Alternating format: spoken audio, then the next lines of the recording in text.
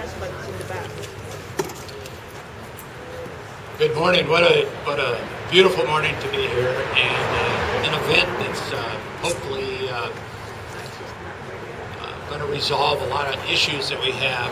I'm Merle Carner. I'm the uh, regional director of uh, Crime Stoppers of Puget Sound, and I'd like to just take a second to introduce some of the dignitaries present with us. Mr. Thomas Bates, who's representing Jenny Durkan from the U.S. Attorney's Office. Thomas is here. Also, uh, representing the Seattle Police Department, we have uh, Deputy Chief uh, Nick Metz. Let me give you just a little bit of the overview of the campaign.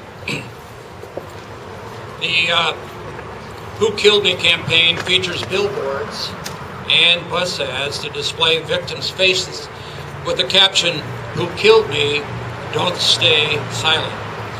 The families of murder victims have teamed up with a, a, number of sponsoring companies to promote a campaign that encourages people to come forward and share what they know about these murder cases. This very specific location is significant today because our campaign billboard, Who Killed Me, will be unveiled at the end of this program. Now, the companies who have partnered together to make this campaign possible are the Seattle Police Department, Clear Channel Outdoor, Titan Outdoor, the Seattle Times, the Stop the Violence Campaign Committee, and the Q13 Fox television show Washington's Most Wanted.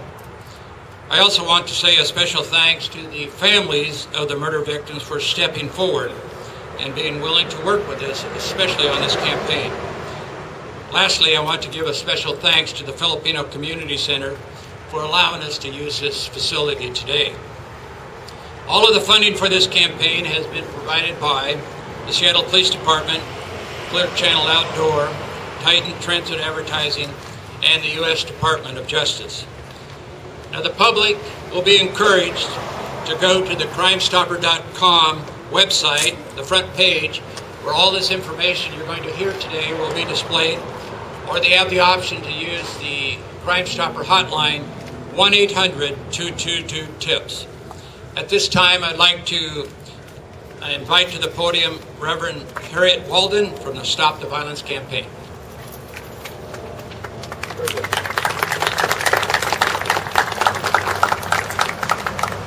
Thank you. Uh, this is a great morning here in Seattle. The sun is shining, uh, and uh, we are really, really uh, moving forward with this campaign. Uh, my name is Reverend Harriet Walden. I'm the director of the uh, Silent Word Campaign, and that's breaking the silence on black on black crime and how we harm one another. Uh, and uh, we have many unsolved murder cases in Seattle, and we believe that someone in the community has information that can help solve crimes. These billboards will remind our community that someone knows something, and we believe that. It's not okay to stand at the grocery store or be at the bus stop with a murderer. We're better people than this. We need to solve these crimes to be able to help the families uh, uh, uh, uh, as they move forward with their lives and to send a strong message out that, you know, violence is not okay. It's not okay in the big world, and it's not okay in the little world here in Seattle. And this is a joint effort. This is a great partnership with the Seattle Police Department and all of the other people who are uh, groups that has been named here, Q13 and all of them. I mean, it is a great partnership. And I like to send my condolence to all the families who have lost a loved one, who have a hole in their heart today. And we're here tonight. We can't mend that hole, but we can surely try to add some some some comfort to them uh, by working on a campaign to end the violence, working on a campaign to say if you know something, it's okay to come forward. It's okay to help solve a crime. And we hope that this billboard, this billboard would be the beginning of people calling the tip line. And uh, uh, you can be anonymous, but let's solve these crimes. Let's be better people than that. Let's say that we can move forward uh, with a new agenda, a new normal, and a new normal is to stop the violence and the and the uh, ex, uh, spread the peace. Thank you.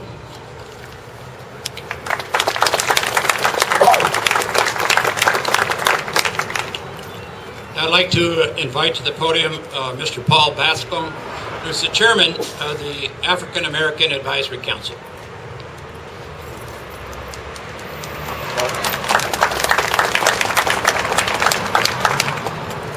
To you all. Again, I am Paul Bascom, chairman of the African American Advisory Council to the Seattle Police Department. And I want to give my condolences to the families that have lost loved ones here in their community. Unfortunately, we're in the days and times when we still need to come back together and consider what we're doing. We've lost a lot of people in just the beginning of this year. And we need to come together and try to figure out how to resolve this matter. It is a matter of us trusting each other. It's a matter of us trusting our communities. It's a matter of our trust, us trusting our law enforcement. But most important is about trusting yourself to be able to be strong enough to come forward, share information about what's going on, what you see, what you understand about going on in our community. There's going to be a lot of young people out there trying to figure out how this happens. Crime Stoppers has went to great lengths to make available to them the opportunity to be anonymous, using what they know best, being the texting, Facebook, or some of the other items that are out there that they can use to share information. We hope that they will continue to consider the outcome, the quality of life that they can create in their own community, and not be hackled by those who threaten and cajole them from coming forward and sharing the type of information that our law enforcement people need that these families need for that are grieving for the loved ones that they lost. So I implore you all to consider sharing the time and effort that it takes to just get bits and pieces to the department, to law enforcement, so that we can all come together and be able to have a much better life in our city, which is a wonderful city, which is a wonderful country, and I hope all of us still consider ourselves Americans and do our part. Thank you.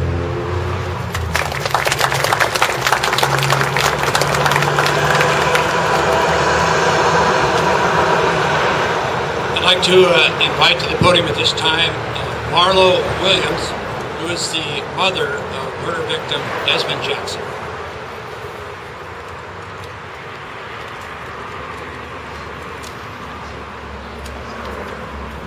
My name is Marlo Williams, and I'm the mother of Desmond Jackson, that was murdered on February the 12th, 2012. We loved Desmond. We had high expectations for him. And Desmond's murder has caused a huge impact on our family. Not even, not just the hurt and the pain that we suffer, but I have an eight-year-old son that walks in fear each and every day because of his death, his brother's death. My hope for this billboard is that we can find justice in Desmond and that we can find this person that murdered Desmond.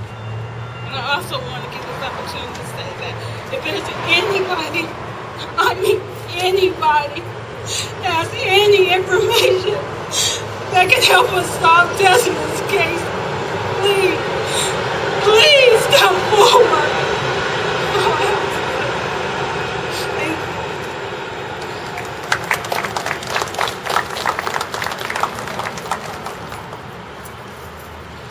I'd like to invite to the podium Valentina Vega, who is the sister of murder victim Danny Vega.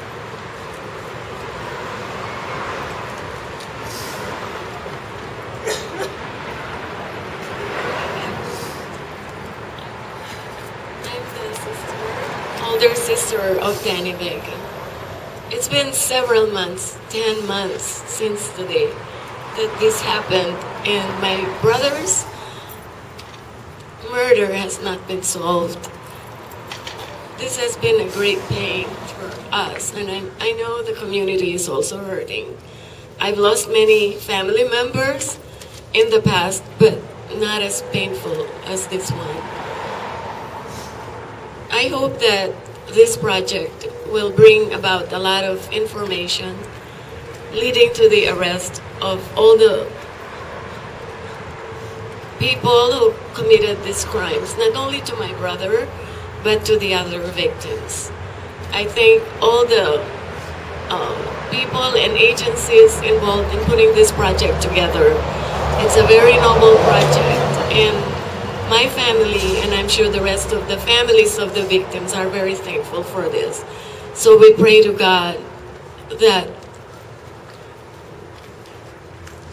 even if not all the murders will be solved, then at least some of them will be. We know that the lives of our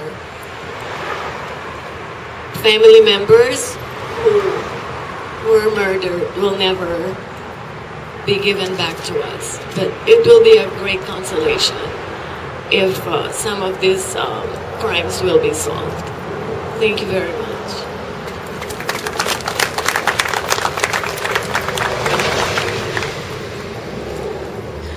I'd like to invite to the podium Marcia Westbrook, who is the sister of the murder victim, Nicole Westbrook.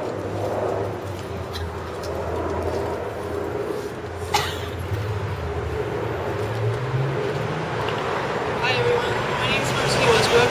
Uh, I, I'm the older sister of Nicole Westbrook. Um, again, thank you for being here, and um, I just want to let you know, everybody know that you know Nicole moved out here. She was only here for three weeks, and she came here to pursue a dream, and she never got to achieve, achieve that dream. Um, and she's, you know, was a vibrant young person as well. You know, we lost the families lost, you know, their young victims here in Seattle. Um, she's a hero in our family, as well as my dad and my in two live wars, in Af- one of them in Afghanistan and the other one in Iraq. Um, my family and you know we're still hoping and praying that somebody will speak up. And if anybody's listening out there or who's watching this today, please give us something. Our, you know, families here came here to this thing to find their killers or who killed their loved ones. And to come to Seattle, you know, with these these, you know, homicides that have happened lately, it's not fair to the families and it's not fair to the people that come out here to, to wanting to live here. And again, please call the Crime Stoppers, let everybody know, say something, speak up. Everything's anonymous. Just you know, we need closure. Our families need closure, and um, you know, just it's heart wrenching to go through this and not knowing anything. Again, I'd like to say thank you to the city of Seattle. Uh, thank you to you know the Seattle Police Department, and um, especially the Family and Victims of Violent Crimes Advocacy Group. Um, and I just want to say thank you to everybody in Seattle. The the residents here, they do treat you with respect and they do treat you like family here. Again, please somebody just say something. Thank you.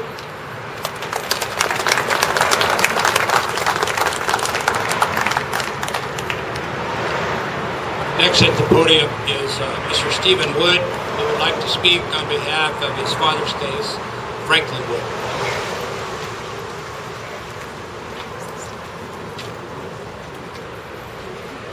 I can't tell you how painful it is to carry the grief of losing my son. Franklin and Andres were shot January 10th, 2010. And we believe that somebody in the North End knows what happened. And we just really beg you to come forward um, to say that, you know, murder is not okay, to um, be human enough to bring that information forward. Thank.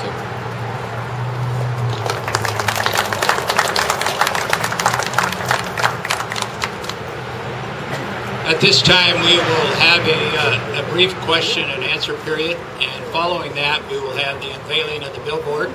So if you have questions, please uh, stand and speak audibly and, and who you would like to refer the question to. You know whether this has been tried in any other city and with what results? Sorry about that, Deborah. uh, uh, um, I know to some degree that they've been done in other cities. Uh, we've, you know, obviously, over the years, we've seen things like uh, you know, missing children campaigns, those kinds of things. And the purpose of those campaigns is to make sure that we're doing everything we can to keep those individuals or the memories of the family members of these individuals alive to get whatever information we can to lead to justice. Deborah? That's what you mentioned it to some extent, the fear of people coming forward and all of that. It's fear, it's distrust, it's many things. How, how do you overcome that? Do you have a guide on how to overcome it? Her question, if you didn't hear it, was the fear of people maybe coming forward or the or the distrust of coming forward. Um, I'm not sure if you heard or not, but yesterday uh, we made a very important arrest. Uh, in October October 31st, 2008, Halloween night, a young man by the name of Quincy Coleman was gunned down near Garfield High School. That was four years ago, or almost four years ago. And in that four years, our homicide detectives, the family members of Quincy Coleman, friends of Quincy Coleman did everything they could to make sure that any information that came in, um, and just like Ms. Williams said back here, Ms. Jackson, you know, whatever little information we can get, we're going to act on it. We're going to look to, to it.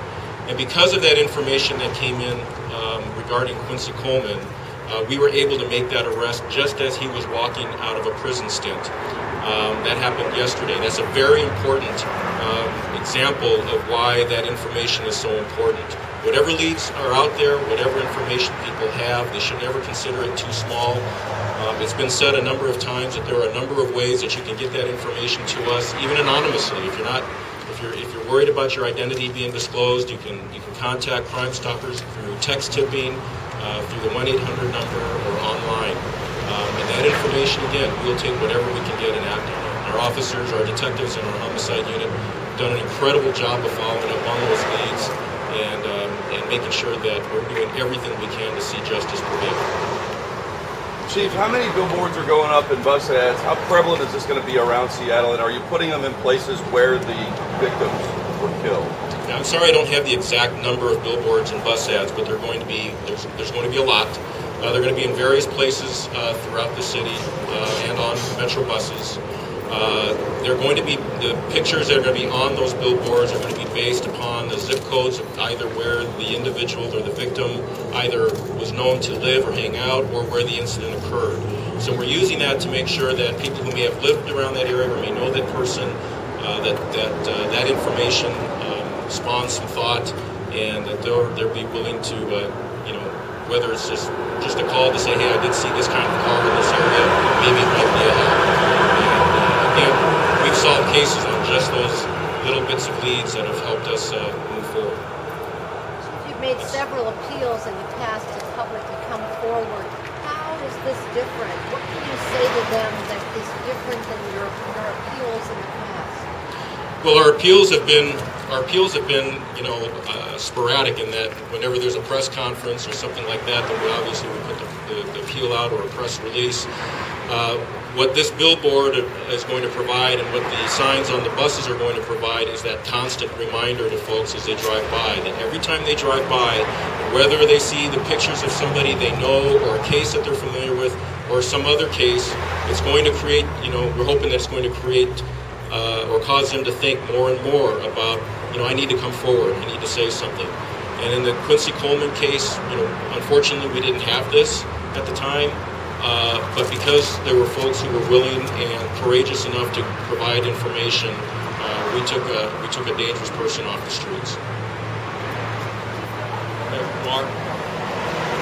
My name is Mar Nuelo, co-chair of the Philippine Advisory Council with the Chief of Police. First of all, thank you, Chief. Thank you for all these people who really spearheaded this kind of campaign. Very noble indeed. Uh, you mentioned, Captain, Kurt, you mentioned that uh, you have some billboards all over the U.S. And my question is, what's the success rate, success rate of uh, this billboard? I, can't say what the success rate is. I know that, that these types of campaigns have been used. Um, a, it's just another tool in our in our in our box to uh, again get whatever information that we can. Um, to be able to put an exact number on what if they've been specifically successful, I can't say right now. But we're you know the, the police department, this community, um, we are committed to, to doing whatever we can to make sure we use whatever method to get information. Chief, the first half of this year was particularly violent. That's what sparked all of this. Looking back at the cases, things have slowed down somewhat, even though there have been some shootings. What is the direct uh, reason for that? Do you think is it is it some of the drug busts you're doing? Is it the gun emphasis? What are you guys thinking right now? Is is causing it to slow down a little bit? I think it's a combination of things. Uh, number one, I think the community has stepped up and said this is not going to be tolerated. Uh, communities have come together and have built block watches, have have uh, uh, created a better uh, source of communication with uh, the police department. Um, our media campaign through our website, Twitter, and others have contributed a great deal. People are feeling like they're getting information from us, so therefore they're going to provide information uh, to us as well. Um, but it's also uh, the police department has taken a very active role in our violence prevention emphasis patrols that we've been putting out through the weekends. We've been working with the community on determining where best to place those emphasis patrols, uh, and those have been those have been very successful. We've, there have been a number of situations where our officers have uh, prevented uh, serious violence from occurring, um, or when it has occurred, they were right there to take immediate action and take those into custody. Chief, you have an opportunity right now with all these cameras to speak directly to people who know something. Mhm. And what can you say to them about their fear and about their mistrust and about finally, you know, breaking their silence? Well, the first thing I would say is look at the families behind me. These folks have been hurting. They are. Um, I can't imagine going through the pain that they're going through right now. I've lost close friends to violent crimes, uh, but not a family member, um, and I can't even imagine uh, the pain that they're going through. And so, I guess I would appeal to people's hearts right now uh, to think about what that would feel like to them. That that that people have, in my mind, a moral duty, a moral obligation to come forward. Uh, and if they don't, again, we've made it clear that if they don't want to come forward and, and reveal their identity, there are ways to get that information to us. Somebody knows something. We've said that all along. Somebody knows something. Uh, people are out there who have information, um, and we're just asking you to take that take that next courageous step um, and let us know what that is, so that we can again see justice prevail. Chief, what role will the, will the feds be playing? Sorry. What role will the feds be I'll let uh, Thomas Bates from the Department of Justice answer. Thanks. My name is Thomas Bates from the U.S. Attorney's Office. We stand in partnership with the Seattle Police Department, our federal law enforcement officials, the King County Prosecutor's Office to make sure that what we're doing as prosecutors, prosecutors and as law enforcement is bringing to bear to the fullest extent possible the harshest penalties that we can bring for people that are committing gun violence and other type of violence in the city of Seattle. Several months ago, we announced what was essentially a zero tolerance policy for, for gun possession and gun violence in the city of Seattle. And in partnership with the Seattle Police Department, our federal partners, law enforcement partners like FBI, DEA, ATF, we're working on cases of gun possession, gun violence, and taking those cases federally where we can get more penalties for people who are perpetrating gun violence and gun crimes in, in our city. Uh, just yesterday, uh, a man, a defendant, was sentenced to 14 years in prison for possessing a firearm in the city of Seattle. He had, uh, in the event that occurred, a person was shot and killed by this defendant. Uh, we determined with the King County Prosecutor's Office that uh, a crime, uh, charging the crime where the person was killed might not be a viable option because of a self-defense claim. So what we did is took that case federally and, and, and got uh, the defendant 14 years in prison where if he was just in the state system, he might uh, been able to gotten off entirely. So we're trying to be very targeted and very smart about how we're attacking gun violence in this city. And, and it's, it's unbelievably humbling to stand here with courageous family members who are asking people in our community to show that same kind of courage and dignity and humanity in solving these crimes. And they should all know that law enforcement is stand, standing ready to take that evidence and work up cases to make sure that justice is done.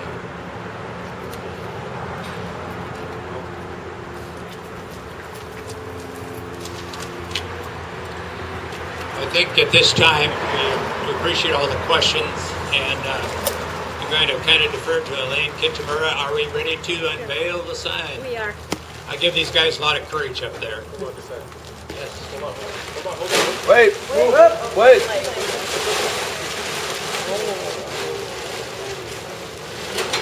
At this